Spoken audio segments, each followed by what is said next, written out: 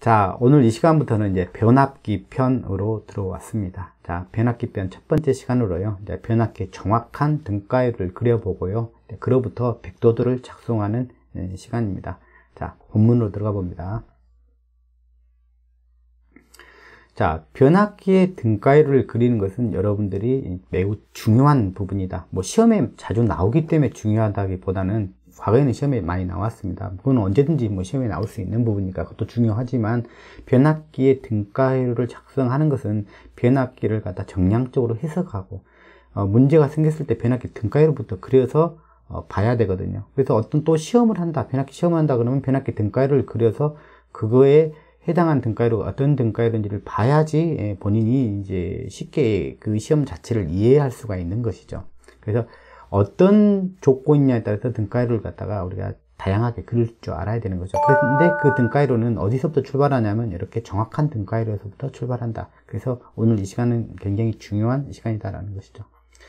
제가 일일이 이렇게 그려드리는 이유는 뭐냐면 칠판에 있는 이미 제가 그려놓은 걸 가지고 제가 쓱싹쓱싹 설명을 다 할 수가 있죠. 그러면 시간도 빠르고 저도 좀 힘이 덜 들 텐데, 에, 하나씩 그려가면서 하면 여러분도 뭔가 이제 순서죠. 이해하는 순서라는 게 있게 되죠. 그래서 그것들을 좀 명확하게 이해하는데 도움이 된다는 겁니다. 그래서 일부러 이렇게 그려드리는 거니까 여러분들이 더 명확하게 이해하시길 바랍니다.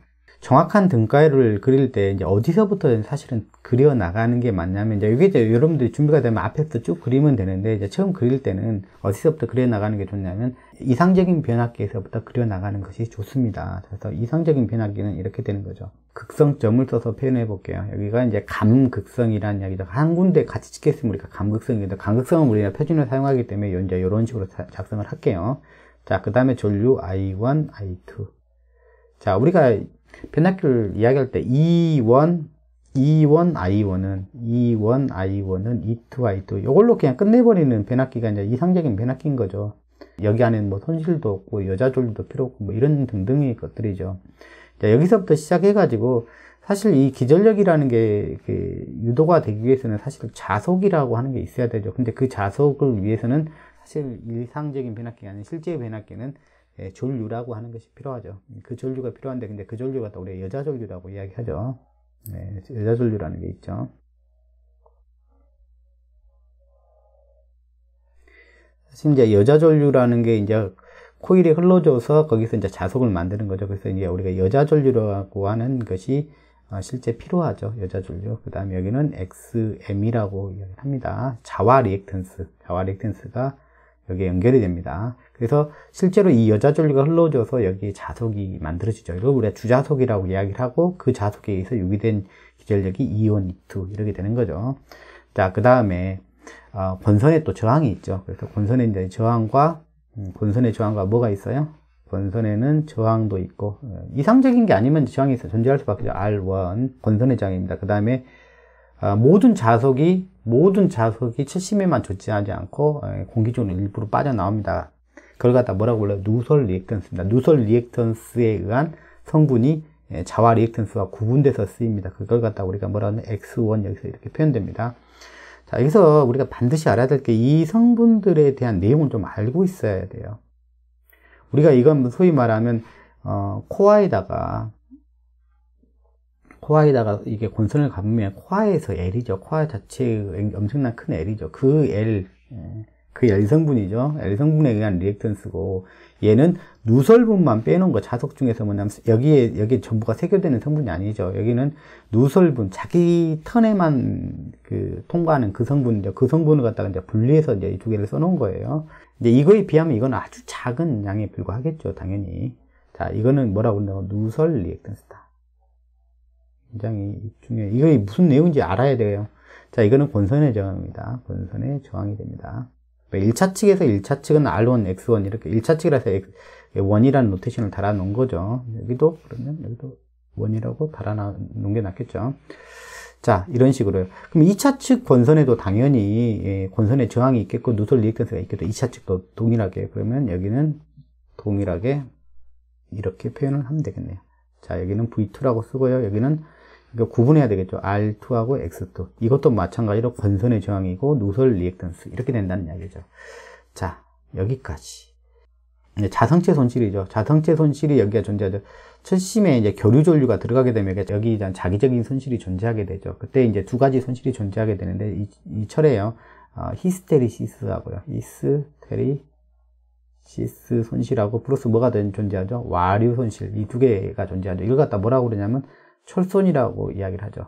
그래서 등가회로 상에서 이런 손실, 열이 나게 하는 성분이죠. 결국 이 두 개가 이제 열 나게 하는 거죠. 결국 이걸 갖다가 회로에서 표현할 수 있는 방법은 저항밖에 없습니다. 그래서 여기다가 이제 이, 이 전류는 어, 여자 전류 성분에 의해서 나타나는 거죠. 이게 자속, 그러니까 여자 전류가 자속을 만드니까 여자 전류 성분 요 회로에 이제 등장하게 되죠. 그래서 여기가 이제 저항으로밖에 표현이 안 되죠.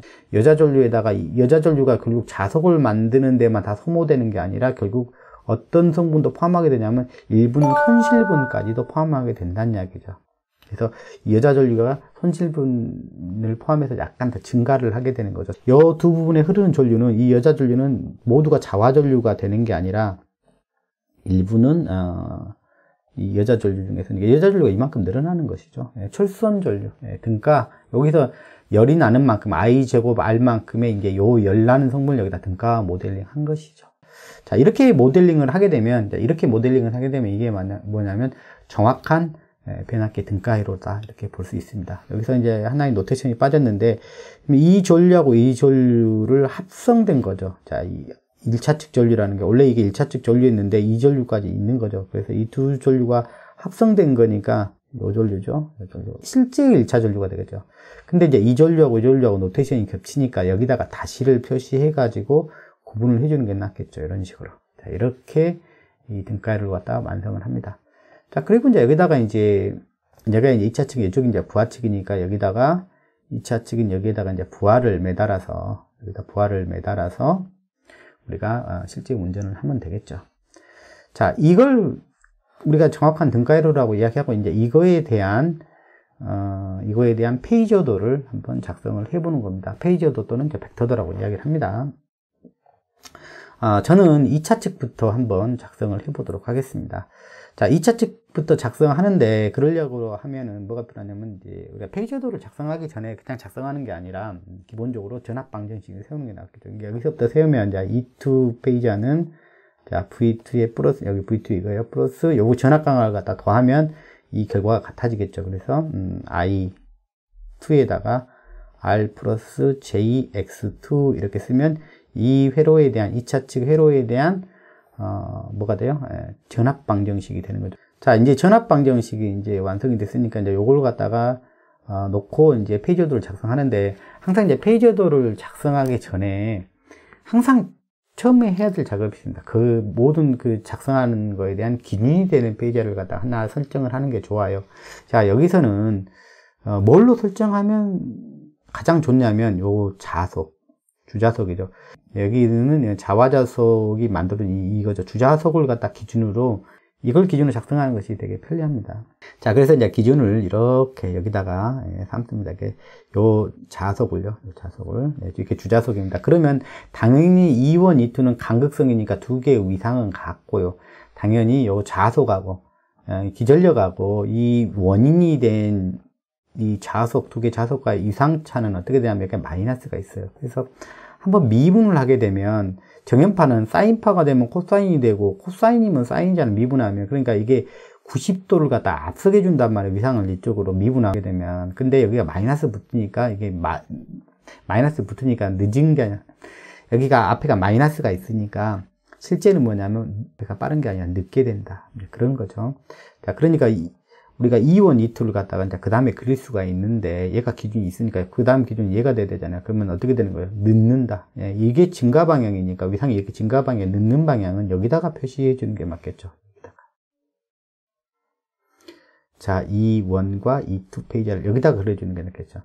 자, 그런데 제가 여기다 그냥 같이 여기 표현해놨어요. 여기서는 위상에다만 좀 중요한 관점을 두려고 그래요. 위상이 어디에 있느냐가 굉장히 중요하죠. 그래서 여기는 그릴 때 여러분들 그냥 1대1 변압기라고 생각해요. 그랬죠. 그럼 1대1 변압기라면 이온, 이투의 크기는 같은 거죠. 그죠? 그리고 이제 감극성이 우리가 표준 변압기에 감기기 때문에 우리가 예, 우리가 감극성 기준으로 이렇게 표시하는 게 더 좋겠죠. 자, 그 다음에, 자, 요거를 보시면 돼요. 이 전압방정식이 세워졌으니까, 이게 E2가 지금 여기에 지금 설립이 됐으니까, V2를 찾아보죠. V2를. V2는 이 두 개의 전압 강화가 아, 빼진 것이죠. 그래서 거꾸로 여기다가 이제 여러분들 이제 전류는 여러분들이 설정을 해 주셔야 돼요. 전류를 항상 페이저들을 그릴 때는 전류가 지금 지상인지 어떤 전류인지는 뭐냐 그때그때 다르잖아요. 이 부하가 어느 조건인지 다르잖아요. 그래서 코사인 세타 2라고 해서 어, 지상인 부하다, 어, 부하로 지금 운전된다고 우리가 가정을 해주고 그리는 게 이제 맞습니다. 전류가 없으면 그림을 그릴 수가 없죠. 무부하 상태라면 더 그릴 필요가 없는 거죠. 자, 그래서 어, 전류가 I2만큼 지금 흐르고 있는데 이게 지상 부하로 흐른다는데 이때 지상이니까 전압보다 대충 요것보다는 요건 지금 그려지지 않았지만 그러면 대충 이쪽쯤에 그려지겠죠 V2가. 그러면 그것보다는 디진 위치에다가 부하를 잡아주면 되겠죠 I2를. 이렇게. I2를 여기다 한번 잡아봅니다. 자 그럼 V2를 갖다가 이제 그려보면 I2가 있으니까 I2가 있으니까 얘를 반영을 해주면 얘를 얘를 이걸 갖다 거꾸로 넘어가면 되죠. 여기서부터 그려 나가면 되죠 여기서부터. 이 쪽으로 넘어가게 되면 음, 되는데 이거부터 그려봅니다. 자 여기다가 90도 여기보다 JI가 되는 거죠. 여기 부분이에요. 이 부분 여기를 갖다 이렇게 풀어보면 I2에 JI2에 X2 이 부분을 갖다 여기다가 한번 붙여봅니다. 자 이렇게 되는 거죠. 전류보다 90도 앞서는 페이지 J라고 하는 것은 90도 예, 앞서게 해주는 페이저다라고 생각하시면 됩니다. A란 연산자가 있고 J란 연산자가 있는데 A란 연산자는 120도 앞서게 얘는 90도 예, 앞서게 그러니까 얘보다 전류보다 90도 앞선 거는 이 정도인 거죠. 이게 90도 앞선 건 여기잖아요. 요런 페이저라는 거죠. 이게 이게 여기다 그 전류에다가 X2가 곱해진 거죠. 그러니까 요거니까 요걸 그대로 여기다 여기다가 여기 여기다 그대로 갖다 붙이면 되죠. 이게 여기가 J의 I2의 X2 이렇게 되는 거죠. 자, 요 부분요. 그 다음에 그 다음에 여기죠. I2의 R2 그 다음에 여기다가 플러스 I2의 R2 여기가 되는 거죠. 그러니까 여기는 자기 전류랑 위상이 같은 베이자가 되는 거죠. 그 대신에 X2보다는 R2가 많이 작기 때문에 길이가, 길이는 좀 많이 짧게 그려져요. 얘보다는 길이 많이 짧게 그려져요. 그 대신 이게 I2하고 나란하게 그려져요. 그러니까 위상이 같은 게. 이런 게, 여기가 I2에 R2 이렇게 되는 거죠. 그러니까 여기가 그러면 어떻게 이야기 여기가, 여기가 V2가 된다는 이야기 그래서 거꾸로 해석을 해보면 V2에다가 IR2 그 다음에 이게 더해진 게 이거란 이야기죠. E2가 된다는. 자, 그럼 다시 거꾸로 보면 V2에다가 얘랑 얘랑 더해진 게 어, 얘가 E2가 된다는 얘기. 근데 지금 여기는 우리가 거꾸로 그려본 거예요. 거꾸로. 거꾸로 붙여본 거예요. 그래서 결국 여기가, 여기가 뭐가 된다는 사실이요. V2하고 I2. 예, V2하고 여기 I2 간의 위상차 여기가 세타2가 된다는 이야기죠. 그죠? 이만큼 늦는 그런 어, 지상 부하인 경우를 여기서 이제 가정하고 그랬던 것입니다. 자, 그러면 우리가 뭘 다 그린 거예요? 2차 측은 다 그려본 거죠. 이렇게. 2차 측을 다 그려본 거고. 그 다음은 1차 측은 뭐부터 그리는 게 좋냐? 그러면 이제 여기서부터 그리는 게 좋아요. 자, I2하고 그 다음에 I1 다시 하고 관계죠. 얘는 뭐냐면 둘이 그런 거죠. 얘들이 변압기 내부에 여자 전류는 여기 있잖아요. 변압기 내부에는 이 여자 전류에 의해서 여자 전류 중에서 자화 전류죠. 얘에 의해서 나타난 여성분만 남는 거죠. 여성분에 의한 자석만 남는 거지. 얘들이 만드는 자석은 서로 상쇄돼서 서로 없어져야 돼요. 그죠? 상쇄가 안 되면은 예, 포화돼서 쓸 수가 없죠. 그래서 항상 얘 둘이는 상쇄가 되는 구조죠. 그래서 소위 말하면 뭐 1, 1대1이라고 했으니까 턴수는 무시하고요. I1 I1 다시하고 플러스 I2 다시를 갖다 합쳤을 때 나타나는 이게 기자력이잖아요. NI, NI 해가고 기자력이잖아요. 이게는 한 턴씩만 감겠다고 생각해서 턴수는 무시하면 이건 항상 0이 돼야 된다는 사실이죠. 서로 항상 밀고 땡기는 구조여야 되는 거죠. 항상 지워져야 되는 거예요. 그게 이제 변압기 원리의 가장 기본기입니다. 자, 그래서 두 개의 위상관계는 어떻다는 거예요? I2하고 I1 다시 위상관계는 어떻다는 거예요? 서로 지워지려면. 항상 지워지려면 어떻게 돼요? 위상이 몇 도 틀어져 있어야 돼요? 얘를 지우려면 어떻게 돼요? 동상이 돼버리면 절대 안 지우죠. 더해지죠. 이 삼각관계가 어떻게 된다고요? 180도 틀어져 있어야 되죠. 자, 그럼 페이지도상에서 180도 틀어진 위치는 여기죠. 이렇게 되는 거죠. 이렇게 여기가 180도 틀어진 위치죠. 그래서 I1 다시를 갖다 그릴 수가 있는 거예요. 자, 이런 것들이 그냥 그리는 것 같아도 이 등가, 변압기 등가를 갖다가 정확히 그릴 수 있다는 것은 뭐냐면 변압기 원리를 정확하게 이해한다는 그런 측면이에요. 자, 여기서는 제가 변압기 원리보다 차근차근 차근 설명을 하지 않았기 때문에 문제 중심으로 가다 보니까 그래요. 자, 변압기 편도 제가 다행히 예, 공대 오고한 채널에다 잘 만들어 놨으니까 그런 부분도 좀 여러분 학습이 좀 추가적으로 필요합니다. 자, 그러면 이게 I1 다시가 그려졌으면 이제 전체적으로 이제 I1이라는 걸 갖다 하려면 얘랑 얘랑 이제 합성해갖고 나타나면 되잖아요. 자, 여기, 여기 I0부터 알아봅니다. I0 중에서 여기 IM이에요. IM은, 자, 그렇죠. IM은 여기 있겠죠. 자, 얘랑 얘랑 동상이 되죠. 이 자화 전류가 얘를 만든 거죠. 그래서 둘이는 차원이 다르지만 위상 같은 거예요. 예, 같이 증가하고 같이 사라지고 그러니까 위상은 같아지는 거죠. 여기에요. 페이저도상에서. 자, 그러면 이건 뭐냐? 여기 이거, 이거. 이걸 두 개 합성한 게 이제 이거니까 결국 얘랑 얘랑 합성해서 얘를 뽑아내야 되니까 얘도 알아야 되죠. 얘는 당연히 손실분 전류기 때문에 손실분 전류기 때문에 우리가 기본적으로 그러잖아요. 이게 전압 페이저가 여기 있고 여기는 IM이니까 이거잖아요. IM. 즉 어, 전압에 비해서 90도 뒤진 성분의 전류죠, 사실은. 우리가 뭐 지상 전류죠. L을, 코일에 흐르는 전류 다 이게 지상이잖아요. 그러면 얘는 이제 이 전압의 동상인 거죠, 사실은. 그러면 위상 관계상으로 보면 여기는 손실 전류이기 때문에 그래요. 즉 유효분 전류. 지난 우리가 회로 이론할 때 마지막 유효분 전류하고 무효분 전류 나눠서 뭐 유효분 순시 전력, 무효분 수준 전류 때 좀 표현했던 이야기예요. 얘는 이제 무효분 전류에 속하는 거죠. 이 전류는 지금 이 전류는 자기장을 만드는 성분이에요. 그래서 얘는 여기 있단 말. 그러면 얘보다는 얘가 얘보다는 이 전류는 이 전류 성분은 위상으로는 뭐 90도 앞에 있다는 얘기죠. 90도 앞에는 뭐 이렇게 위상이 증가하니까 얘는 여기에 있는 거예요. 이 전류는 이 손실물 전류 여기에 있는 거죠. 그렇지만 이 전류는 어, 이 전류보다는 작아요. 뭐 사실은 여기에 비해서는 여기는 훨씬 더 크거든요. 임피던스가 사실 실제 임피던스가 그래서 실제는 이제 여기랑 어차피 전압은 같은 전압이 걸 이온이랑 같은 전압이 걸릴 텐데 여기는 수천 옴이라면 그것보다 얘는 더 커요. 그러니까 전류 규모는 얘가 더 작으니까 좀 더 작게 그려주는 것이 상식적으로 좀 맞아요. 그러면 이 두 개가 합성된 결과가 뭐란 뜻이에요? 여기 이 결과가 I0 즉 여자 전류라는 이야기죠. 그러면 키로이프 법칙의 이 전류하고 이 전류의 합성, 즉 이 전류하고 이 전류의 합성이 뭐라는 이야기 I1이라고 하는 것이죠. 그러니까 이걸 갖다가 합, I1을 합성하면 이렇게 이렇게 합성하면 이게 뭐가 된다는 얘기 좀 색깔을 좀 진한 걸로 써볼게요. 구분을 하는 단계에서 이게 I1 이게 된다는 얘기죠.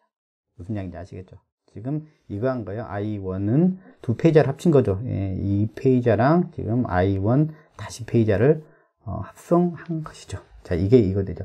자, 그러면 이제 우리가 어, 요 부분도 지금 다 표현을 할 수가 있죠. 1차 측도 1차 측도 그러면 전압 에 전류가 있으니까요. 요걸 가지고 이제 전압 강압까지 보태갖고 하면 되냐. 여기나, 여기나, 여기나 E1은 같은 거죠. 예, 병렬례로기 때문에 여기 E1, 여기까지 이제 전압 방정식을 써보면 이렇게 된다는 이야기죠. 자, V1은, V1은, 자, E1에다가, 자, 플러스, 자, 여기, 여기 전압 강화죠. 자, I1, i1에 r1에 플러스 jx1 이렇게 되는 것이죠.